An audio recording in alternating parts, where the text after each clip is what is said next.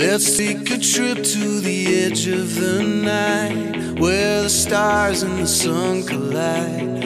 Won't wait a lifetime, it's our turn.